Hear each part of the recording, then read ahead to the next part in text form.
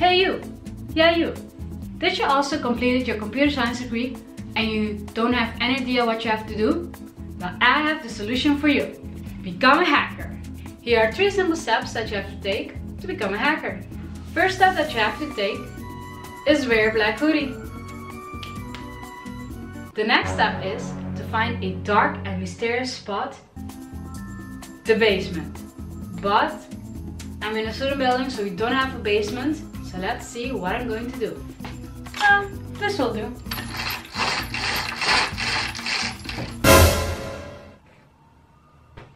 It's time to code. Oh, wait. Ready.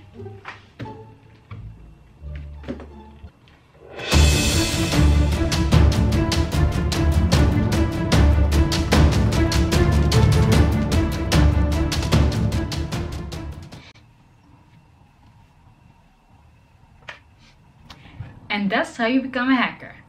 All jokes aside, I'm not really hacking into anything. By the way, this is just a website. Don't let the TV shows and movies trick you thinking that a hacker always wear black clothing, is in the basement, and is hacking that easy. A hacker can be actually anyone. It can even be your neighbor. It can be a teenager, it can be a young adult, female or male. It can even be a grown-up and also even a kid. For example, the boy, I think he, I think he was eight years old when he hacked the Microsoft Xbox system, like mind blown. And I think he, he also works now for Microsoft. So guys, it can be anyone. And also hackers aren't always bad hackers. You also have good hackers.